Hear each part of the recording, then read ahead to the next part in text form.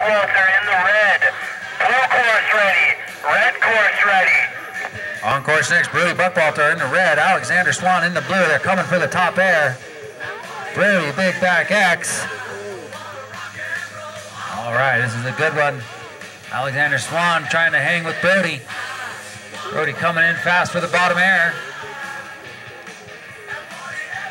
Big twister spread. Alexander Swan.